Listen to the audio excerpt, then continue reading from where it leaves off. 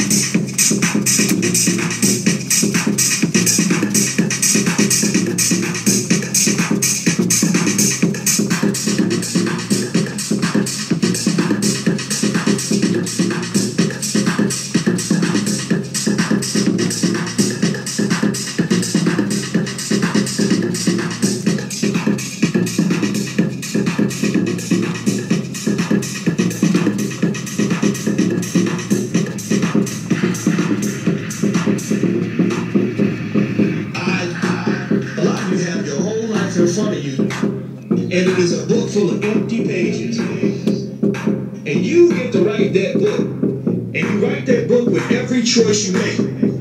If you decide that you are meant to be something special, then that is the book you will write. If you decide that you are meant to be nobody, then that's the book you're gonna write. And I'm not here to dog you out or to tell you what type of book you should write. I'm just here to tell you that you can write whatever you want. want, want.